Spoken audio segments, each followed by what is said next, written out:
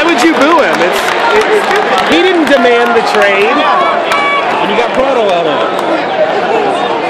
What an awesome trade. Why would you trade? Why would you boo the guy? It's not his fault he's in Atlanta. I mean, granted he's happier, but...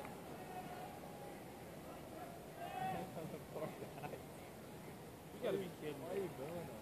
It's your typical Arizona fan. Nobody here knows if he's there about what's going on. I think all he got traded is that he wanted to.